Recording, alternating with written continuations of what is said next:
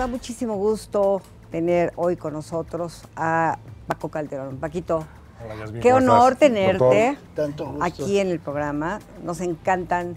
Antes que empiece la entrevista, déjale le ponga, le ponga el mute a esta cosa porque si ahorita empieza a sonar, me quiero morir. Ahí está. ahora. Seguramente te van a hablar y te decir, te estoy viendo al aire. Y Es entonces te van, te van a molestar y te van a hacer Estaba yo preguntas.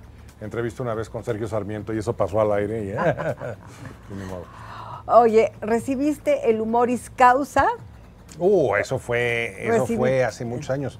Tienes En, dos eh, libros, tienes muchas, bueno, muchos programas de radio interesantísimos. Lo tuve, ya lo no tuviste, claro, que además te divertías mucho. lo tengo. Era muy divertido. Con Jaime Almeida. Que Con ya Jaime. Almeida, que, bueno, eh, totalmente diferente a lo que tú hacías, Paco, y a lo que Eh, haces. Era, era, un, era un pasatiempo, la verdad. Era, era una chamba maravillosa. Te, te pagaban muy bien por irte a tomar un café y hablar de lo que te gustaba, ¿no? Te- va a divertirte. Sí, yo a mí mis hobbies, por ejemplo, es la historia. Me encanta, por ejemplo, hacer cartones históricos, porque como ya no hay de esos modelitos de Rebel Lodela, ¿verdad? En donde podías armar el avioncito o el barco, lo que sea. Yo en mis cartones como que puedo armar eso, ¿no? Y les busco los uniformes y busco las Sí. armas y, y todo eso es muy divertido. Y entonces era un programa donde decíamos, tú habla de historia, ¿verdad? Este, cuéntanos, por ejemplo, el día de hoy que se graba este programa es el Día de los Niños Héroes. Eh, pues les platicaba yo de los niños héroes, me divertía muchísimo, ¿no? Y además luego buscabas para en radio poder poner efectos especiales o marchas de la época, cosas así. Es muy divertido. Pero, y fíjate, curiosamente, tus caricaturas en el, eh, en el Reforma son pequeñas historietas de historia, pero llevadas a la actualidad.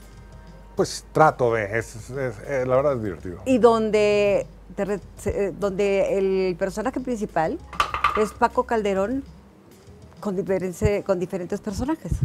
Bueno, no, no, no, no es una historieta así como... Como tal, Como tal, digamos, es un cartón editorial. Sí, claro, por supuesto. Este, pero que utilizas pero claro, tú tienes, hazte cuenta, tú tienes tu pequeño rollito, tu argumento, lo pones en un papel y luego lo vas dividiendo por párrafos. Y dices, cada párrafo va a ser un cuadrito.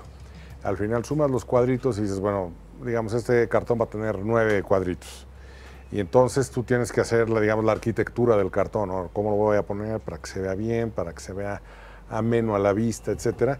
Y sobre todo, una vez que ya tengo el argumento, ¿qué voy a poner en cada cuadrito, no? Cada párrafo tiene que tener alguna viñeta que lo ilustre y así es como sale ese cartón. Es muy divertido cuando hay la idea, cuando no hay la idea, pasas ¿Cuánto- aceite. Cuando no hay ideas, ¿qué haces? Te exprimes la cabeza hasta que salga la idea. No puedes llegar a decir, pues, este... Hoy no este publico. no hay. Exacto, no, no. Bueno, en los diarios a veces sí. ¿De veras? Sí, claro. O sea, es. La gente dice, ay, qué padre chamba. Se te ocurre cualquier jalada y la pones, ¿no? No es así. Y dices, no, eh, ojalá la chamba fuera eso, porque entonces cualquiera la haría.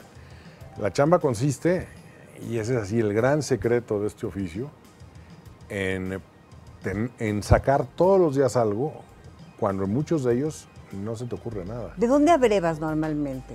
De todo. Bueno, te la vives pegado al internet, lees en la noche, de repente dices, aquí puede haber un buen cartón. Este, ves la televisión, oyes el radio, de donde puedas sacar temas, o a veces, pum, se te ocurre un chiste buenísimo y dices, yo lo que necesito, voy a anotar el chiste, yo lo que necesito es una noticia que encuadre en ese chiste. Entonces cuando yo veo Uy, mira. lo tengo guardado. Y cuando de repente algo sucede que ese chiste puede servir, pácatelas, ponlo, ¿verdad? Y sale. ¿Cuándo fue el primer dibujo? La primera caricatura. Eh, ¿Publicada? No, la, la- tú personalmente, ¿cuándo decides? eh, Mira, mi abuela tenía un garabatito que yo hice cuando mataron a Kennedy. Yo de haber tenido cuatro años. Oh. Sí, ¿No sí, me sí, digas? sí, sí, sí, sí, sí. Wow. Este, digo, era algo que simulaba un coche, algo que simulaba un señor parado, ¿verdad? Y alguien que le metió un balazo. Este, el primer cartón publicado fue el Día de la Libertad de Prensa, 7 de junio de, seten- de 1977. El primer año de López Portillo, ahí es cuando yo empecé. Wow. ¿Y Sí. de qué era? Era de las elecciones españolas, empezaba la transición española. Digamos que la transición española y yo este, tenemos la misma edad profesionalmente. Creo que me ha ido mejor a mí que la transición española. española. Oye, siempre crítico, pero burlándote. Es que haces una combinación entre la crítica política, pero en donde te ríes de ti mismo. Claro, ese es el, ese es- esa es la piedra Angular. angular. del sentido del humor. Reírse de quien te cae mal no tiene ningún chiste. No, claro. Si te Tienes sabes reír de ti mismo, te puedes reír de los demás. Yo creo que ese es, ese es el chiste. Y el, el verdadero humorismo consiste en reírte de los demás porque al reírte de los demás, de hecho, te estás riendo de ti mismo. Estás encontrando en ellos los defectos que tú ves en ti. ¿Te has tropezado en algún momento de tu carrera como caricaturista en el sentido de que has tenido que frenar críticas, has tenido que hacer algo que no, que no te gusta, que te disgusta? No, que afortunadamente que no, afortunadamente Has tenido una no. libertad siempre total. Bueno, vamos a ponerlo de esta forma. Eh, Si la pregunta es si ha habido censura, Sí, Por supuesto, cuando el caricaturista empieza, claro, uno, me tocaron otros tiempos, claro que había censura. Pero además, todos los periódicos tienen una persona a la que le pagan por ejercer la censura, que se llama el editor. Tú llegas con tu cartón y lo ve el editor y te dice esto pasa y esto no pasa. La cosa es por qué no pasa. No pasa porque este político es amigo del, de- del dueño del periódico y eso, salte de ese periódico, no, no. No sirve, no es para No mí. pasa porque sabes que tu cartón está mal argumentado o no es gracioso o este, es, una, es, e- es una crítica de mal gusto, no sé. Y eso te ayuda como periodista a ir normando el criterio de saber qué publicar y cómo. Por ejemplo. O también a decir lo mismo, pero de otra forma. No, no, no, no, no, no, yo creo que ahora se puede decir todo. Pero, por ejemplo, hay un político que me cae mal y ese político tiene un defecto físico. Si yo me río de las ideas que propone este político, ese cartón es válido porque te estás riendo del hombre público. Si yo me río del defecto de este señor y dices, perdóname, ese, ese defecto es off limits, tú no puedes reírte de eso. Totalmente de acuerdo. A mí luego me preguntaban cuál ha sido el político más difícil de caricaturizar. Y esperaban que dijera, pues fulano, porque tenía una narizota, o ¿qué, saber qué- qué esperaban que yo dijera? Yo le dije, el político que a mí más trabajo me ha costado eh, caricaturizar ha sido a don Gilberto Rincón Gallardo. ¿Te acuerdas de él, un Ay, político claro, del por PSUN? supuesto, ¿cómo olvidarlo? Un hombre muy brillante. Tipazo. Era un tipazo. Pero había nacido con una deformidad Así es. y decías, cortos. ¿qué hago? Si yo dibujo su, lo dibujo tal cual es, no quiero que se tome a como que me estoy burlando de, Claro, de su formidad. claro, claro. Y a la vez, si no lo dibujo así, van a pensar que yo le tengo lástima o que le estoy compadeciendo. Es el tipo de cosas que tienes que tener un, un sentido de la proporción muy fino, que solo se logra con muchos años de estar Claro, dibujando y con un buen editor para saber cómo poder sacarle una caricatura donde te rías de lo que está diciendo ese político y no de la persona. Que te pones en el umbral, ¿no? De, de Bueno, lo es correcto o de lo Al incorrecto. menos en mi caso, eh, yo siempre trato de reírme de la persona pública, del personaje público que aparece en los medios y que busca tu voto. La vida personal de ese señor, salvo que resulte un escandalazo y Claro. reviente en los periódicos, pues a mí no me importa. Pero hay eh, ha habido una forma de, de hacer la crítica distinta en tus cartones. Yo recuerdo que cuando estaban todos los plantones de maestros, eh, tú te hiciste, hiciste una exaltación de tus buenos maestros. Ah, sí, exacto. ¿no? Entonces, en lugar de estar hablando mal de los maestros como eh, eh, hubiera sido en, en otro tipo, momento de cartón, tú empezaste a hablar de tus buenos maestros. Ellos hablaban mal de sí mismos. Eh, la verdad era para decir, espérate, cuando decían, es que así son los maestros, no, perdóname, así no son los maestros, yo tuve maestros. Y no fui un, un buen alumno y aún así reconozco que tuve extraordinarios maestros. De hecho, es un poquito como de arrepentimiento a posteriori de caray, tan buenos maestros debía Una haberlos, disculpa. debía haberlos aprovechado mejor. Ah, ¿Y cuándo te diste cuenta de que tenías que pedir una disculpa a tus maestros? Pues no, no era pedir una disculpa, no pero tal. dicen, dicen que la cultura es aquello que se te queda en la cabeza una vez que todo lo que aprendiste en la escuela se te olvidó. y entonces dices, caray, a mí me hubiera gustado haberme quedado con más.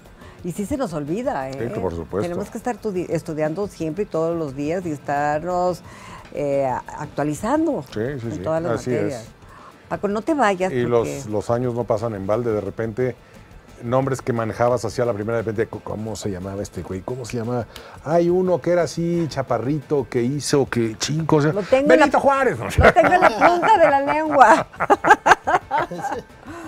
No te vayas, mi Paco, vamos a seguir conversando contigo. Está aquí en el estudio este gran caricaturista que pues ha sido altamente eh, amado, pero también criticado y también nos gusta y a gente que no le gusta, Ese es como todo- todo. Ese es todo el chiste de este oficio. Así es. Regresamos aquí en el ombligo de la luna con Paco Calderón. Y regresamos al ombligo de la luna con la presencia de Paco Calderón, el gran caricaturista que sigue con nosotros y nos sigue contando historias. Que está cumpliendo 40 años ya de 40 años de caricaturista. profesional. Estaba chiquitito, Paco. Empecé muy joven. Creo que primero empecé a publicar mis cartones antes de hacer el servicio militar. No sé si todavía se haga el, el servicio militar ahora, pero... Supongo que sí. Tiene, ay, yo no sé, fíjate, yo como Bueno, soy antes- niña, no sé. Había películas que tú tenías que llegar a la taquilla y mostrar la cartilla, este, liberada para que te dejara entrar a ver una película. Me acuerdo que era El Vengador Anónimo con Charles Bronson. Ahorita la puedes comprar aquí, en- aquí abajo, ¿verdad? Y la, la ven los niños, ¿no? Sí. No, y Por además, este, supuesto, No solo era la mayoría, era la única prueba de mayoría de edad y hasta para sacar el pasaporte. Sí, sí, sí. No, eso era de rigor. ¿Cómo han cambiado los tiempos, Paco? Y lo has vivido porque estamos en un, tú y yo somos casi la misma generación. Hemos vivido de todo, las máquinas de escribir, Claro. eh, cuando no había computadora, eh, muchas cosas, los teléfonos celulares, bueno, impensable, ¿no? Los cartones. Éramos nosotros los que... los cartones se mandaban, los tenías que llevar al periódico. Todo el mundo entendía la frase, ya, ya me cayó el 20. ¿Qué quería decir eso? Los teléfonos tenían 20 una sí. ranura, tenías que echar una moneda de 20 centavos y cuando entraba la llamada caía el 20. Entonces Así es. ya comprendí que decir ya me cayó el 20. Ahorita los chavos oyen y dicen, ¿qué? ¿Qué? Los Sí. teléfonos eran de disco. Así es. En eh, Nueva York, en el eh, Museo de Arte Moderno, tienen exhibiendo ahí este, máquinas de escribir Olivetti, de esas que tenían una, una esfera, ¿verdad? Oh, Que golpeaban. maravilloso, claro. Dije, esas yo las vi en uso. o sea, la, la secretaria de mi papá tenía una máquina de esas. Claro. Y en la caricatura, ¿en ti qué ha cambiado?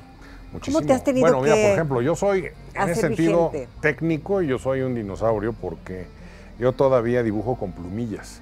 Yo me compro mis plumillas que antes conseguías a la vuelta de la esquina y ahora las tienes que Ya. pedir por internet. Fíjate nada más, no puedo creer. Y la dibujo el cartón en tinta, espero a que se seque, lo borro, lo digitalizo y ya todo lo demás lo hago en computadora. Los chavos ahora ni siquiera tienen que recurrir a eso, todo lo dibujan en una tableta y lo están viendo en la, en la pantalla. Para ellos eso de dibujar con plumilla o con tinta es un anacronismo y ciertamente lo es. Oye, a ver, eh, hay generaciones de caricaturistas jóvenes que vienen desplazándolos a ustedes. Por supuesto, esa es la ley de la vida. Sí. Y tú decías hace rato fuera, hay que de- decidir cuándo retirarse. O, o, bueno, hay que morirse a tiempo. El caricaturista no se, el caricaturista no se retira. Pero, Pero, mira, por ejemplo, pienso yo en don Rafael Freire. Don Rafael Freire murió a los 98 no, años. maravilloso y en pie de guerra. Eh, sí, pero eh, cuando él falleció, al sepelio fuimos no más de cinco caricaturistas, no más de tres, ¿De verdad? te lo juro. Si se hubiera muerto 10 años antes, Claro. hubiera estado lleno, el, pero es que ya era tan grande que ya los chavos no lo conocían. Y que su y muchos de los también que- se había muerto. Exacto, muerto, es que claro, muchos se habían muerto antes. Así es, así es. Que eso era una de las cosas que más le pesaba. Él siempre se desayunaba en un café del hotel Presidente Chapultepec. Sí, claro, ahí Hasta vamos. que se quedó solito en esa mesa y ya no tenía. ¿Cómo? Así yo iba, es. yo era de sus invitadas. Todos los ah, viernes. bueno, pues hubiera sido más seguido porque estaba muy triste. Ah, mi vida. Ya también estaba lleno de otras cosas y en otros proyectos yo no podía así ir. es, pues así es como pasa. Así es como pasa. Esa es la ley de la vida. Paquito, muchas gracias por estar aquí con nosotros. ¿Qué planes tienes muy próximos este año o el otro Muy año? próximos, saliendo de este programa, llevo a mi casa a hacer mi cartón para mañana. Después de eso, el cartón del domingo y luego lo que siga, a veces un poquito al Lo día. Exacto, hay que Así vivir al día. Muchísimas gracias. Al Como siempre, un placer estar contigo.